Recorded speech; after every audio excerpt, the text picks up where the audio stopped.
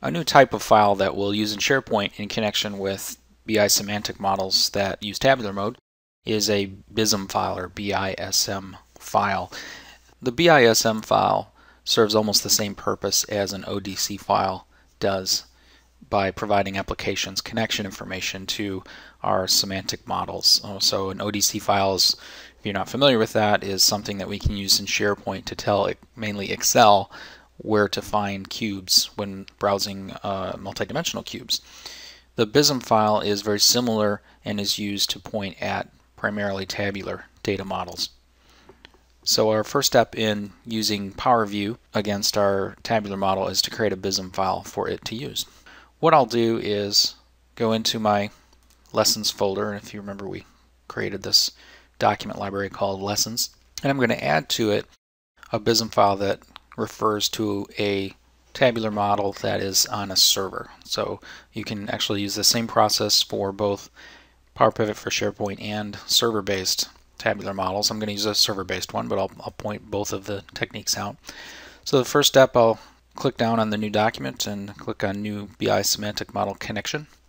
I get this kind of a screen to fill out. This is very similar to filling out data sources and many kinds of Microsoft tools in SharePoint. So I'll give it a, a name. I'm going to call this one um, Aviation Statistics. I'll give this a more friendly description. And the part that you need to really pay attention to is the connection information. This is how this form can be used for both Power Pivot for SharePoint as well as server-based semantic models. So you notice this says workbook URL or server name. If I deployed my semantic model using Power Pivot for SharePoint, I would just fill this one field in to give it the URL to a Power Pivot for SharePoint workbook within SharePoint. And I'll just flip to this other screen and you can see there's this uh, workbook exists in another library called Power Pivot. And then I could just save the form and that would be enough. Since my model is in an analysis services database instance, I need to fill in the two fields. One is the server name, the other is the database. So I'll type in my server name and database name. So when I click the OK button, it will validate to make sure that it can connect to that database. And as long as it can, then that will be saved. So now I have the BISM file and I can see the icon here.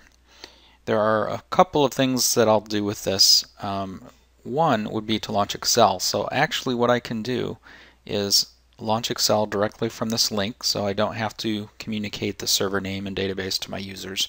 I can just give them this link. Um, and you'll notice this is interesting that it will be presented to the desktop as an ODC file.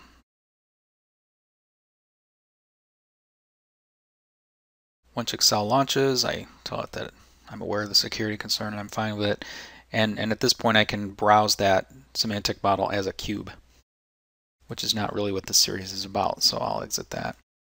The other thing I can do is I can either drop down and select Create Power View Report, or if I just click on that, it will automatically launch into creating a new Power View report.